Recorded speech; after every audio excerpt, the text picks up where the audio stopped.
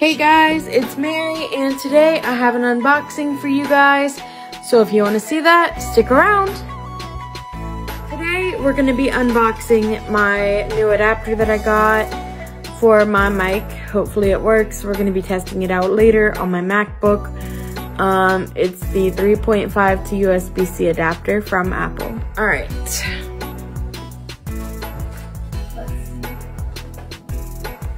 Here it is. This is the adapter. This is the front of the box right here. This is the front. And whoop.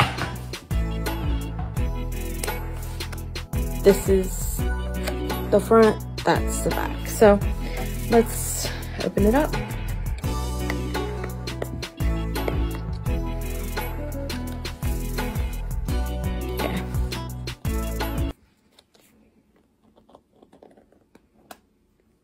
Ooh. And I'm curious, is it, no, yep, it's the same kind of packaging as you can see that my USB or my lightning adapter was in. You guys can see that. So I'm just pressing outwards and then I just pulled out on the other end. And as you can see, this is USB-C to 3.5 millimeter. All right, let's grab my mic and test it out. Let's go.